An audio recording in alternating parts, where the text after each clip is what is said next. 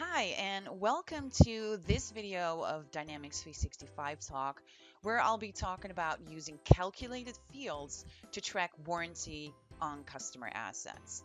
But before we get going, I just wanted to go ahead and introduce myself real quick. My name is Dian Taylor. You can take a look at my blog at d365goddess.com or follow me on Twitter at d365goddess. Now, most of you probably know that we can configure whether or not a work order product needs to be turned into a customer asset when a field technician consumes a work order product. So this is great functionality, but what if we needed to track if that customer asset was still under warranty or not? And this could come in handy when we're performing service on that asset. So in this video, I'm going to configure the application to track two different types of warranty on customer assets. One to track their labor associated to when the asset was installed, and one type of warranty related to the part that was installed. So this is kind of what that's going to look like. You can see here we're tracking the warranty status of the labor associated to the customer asset and the product itself. Now let's take a look at the configurations for that. So we're going to have some new fields on the product entity and the customer asset entity. On the product entity, we're going to add two whole number fields. Um, as you can see, I'm going to call them warranty labor duration and warranty part duration. And these fields represent the number of days that we're going to give warranty on each of those items. So we can have uh, a particular amount of days uh, of warranty on the labor that's performed when a particular customer asset was installed. And we can also have warranty on the part itself. So think about maybe we're installing an HVAC unit, right? And the actual HVAC unit itself, which is that part, right, or product, that could have maybe a year of warranty on it but the actual labor related to that installation could be shorter, right? Maybe we're only going to have 90 days or 30 days um, of that warranty related to that labor. Then on the customer asset entity, we're going to need to create a field that is actually going to keep track of how many days have passed since that installation. So that's the days since install, which is a calculated whole number field. And what we're going to do is we're going to use the created on field, which we're going to rename to installed on. And that's the field we're going to use to calculate how many days have passed since that customer asset was installed. Then we're going to have two additional fields, and those are the actual warranty status fields, one for labor and one for parts. Uh, again, it's a Boolean field. We have two options, under warranty or warranty expired. And again, what we're going to do is we're going to take a look at the warranty duration and we're going to compare that to how many days have passed since the installation date and then deciding on that whether something is still under warranty or not. So let's take a look. Here I have, as you can see, the two different entities. The product entity is in orange and the customer asset entity is in blue. So you can see on the product entity, I'm going to have two new fields, warranty labor duration days and warranty part duration days and then I'm going to rename my created on field to installed on. And again, those warranty duration days, that's really where we're going to set how many days um, the labor is going to be on the warranty and the part or the product is going to be on the warranty. Then on the customer asset entity, we're going to have a days since install field. And what that's going to be, it's actually going to be the difference between the installed on date, which is the created on date, and today's date. That's the amount of days that have passed. Then we have the labor warranty status. So basically what that does is it's going to look at the warranty labor duration days field in the product entity and it's going to compare that to the days since install date on my customer asset entity. If the warranty labor duration field is greater than or equal to days since install, we're going to set that field to under warranty. Otherwise, we're going to set that to warranty expired. And then the last one works exactly the same way. This is just for the product, right? For the actual um, product itself if the number in the warranty part duration field is greater than or equal to days since install, again, it's looking at that date since install field, and then based on that, it's going to set it either to be under warranty or warranty expired. Okay, let's take a look at how we're going to configure this in the application. So I just navigated to make.powerapps.com and I'm gonna go expand my data and then my entities and the first thing I'm gonna do is I'm gonna navigate to my products entity. Let's reset that filter real quick. Products. Here it is. And I'm just going to show you the fields that I added. Obviously, you can just go ahead and click add field directly from here, but I've already created those fields, so I'm just going to show you what that looks like. And here they are. So here's the first one, warranty labor duration, and here we have warranty part duration. Both are, as you can see, a whole number field, so let's just go ahead and open that up. So you can see, obviously you can put in your minimum values. Um, you probably set this to zero and whatever that maximum value we want to set that to. Uh, you can see it's very simple. The data type is a whole number. You can set whether or not it is a searchable field. And then you can just go ahead and save that. So my part duration is exactly the same. Also, it's going to be a whole number field, as you can see.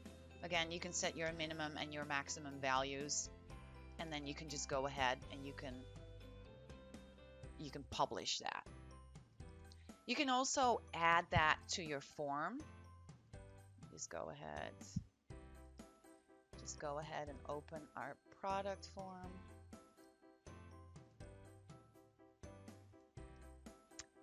And here is our product form. And as you can see, I actually added this section. It's called warranty. And then I can just drag those fields that I just created onto the form. And of course, you want to make sure that you go ahead and you save that and you publish that. And now we can go ahead and move on to the customer assets.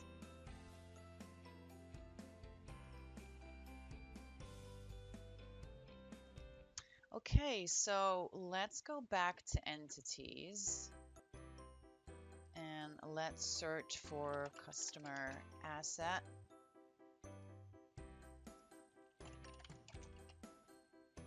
And here we are. Zoom in a little bit. so the first thing that we want to do is change the name of the created on field. We're going to call that installed on. We're going to just go ahead and click on done. Then you can see that I actually created a days since install field, which is a whole number. So let's take a look at that. I'm just going to go ahead and open that up. As you can see, it is a whole number field and you can see here that it's actually a calculated field as well. So if I want to take a look at that calculation, let's just go ahead and save that. So here we have that configuration. You can see here our action is to set the days since install that set this field to the difference in days between today's date and the created on field or right? Because that's really that field that we just renamed to installed on. So that's all you have to do. Like I said, you can basically start typing this in and then you can select that from the drop down. So let me show you. You can see here diff, different than days, and then you can put on in created on, and then we want to, there you go. So that's kind of how you do that. And then you can just hit that checkbox and that's what that looks like. So that was the day since installed. Then we want to actually put those labor warranty status and part warranty status fields on those as well. And those are identical, right? We're just having them look at different fields for those calculations. So we can see here again, this is a two options or Boolean field. We have two different values in there. One is under warranty and one is warranty expired.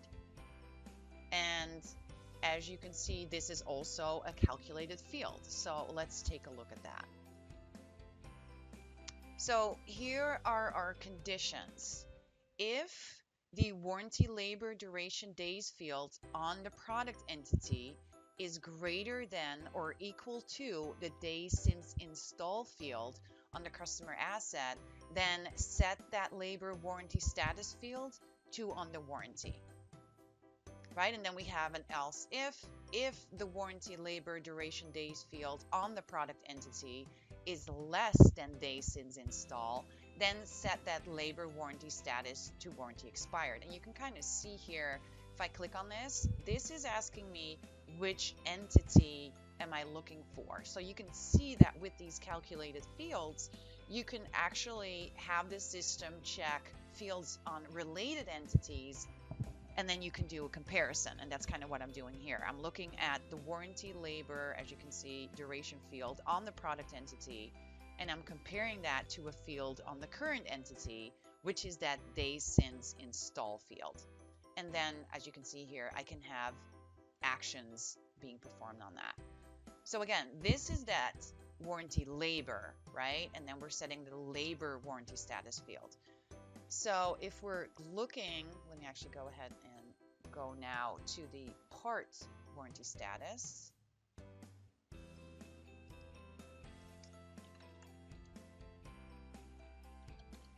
Let's see here. Oops. Or product warranty status, whatever we want to call it. Again, we can see that that is also a Boolean under warranty, warranty expired, and again, we can see here we have the default value and we can open that calculation. Very similar, right? We're again, now we're just looking at the warranty part duration days field on the product entity. If that is greater or equal to days since install, set that to be under warranty. If the warranty part duration is less, than the day since install, then set that product warranty to warranty expired. And again, right, I'm looking at my product entity. Here's my field on my product entity. If that is less than the field on my current entity, customer asset, day since install field. So that's how we do that. So now let's take a look at a customer asset record in Dynamics 365. and I'm going to zoom out a little bit. So we're currently here looking at a customer asset. You can see that here. It's called the heating cooling plate. And if I scroll down, you can see a couple of things here. You can see the work order that it's related to when it was installed, what the cost and the total price was uh, that we charge our customer, what our cost was. And if I scroll down, it's actually telling me it was installed on 6-10-2019. The days that have passed since then is 202. And because you can see here, the warranty is expired because it's looking at, right, remember this, 202. Let me actually go to that product. Here we go. It's saying we have 90 days can see warranty labor duration is 90 days and the warranty part duration is 180 days. And we just saw we were on day 202.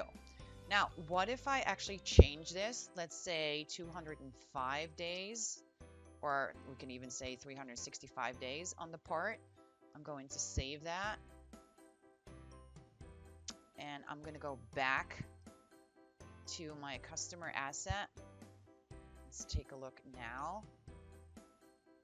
You can see here that it actually just updated it that now the product is under warranty because there's 365 days on that part warranty and only 202 has have passed.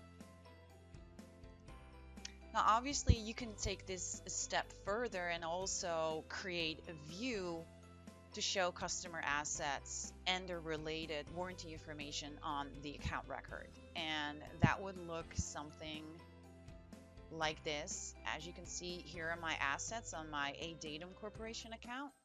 And if I scroll here, I can see the actual installation date, the day since install, what the actual warranty duration is,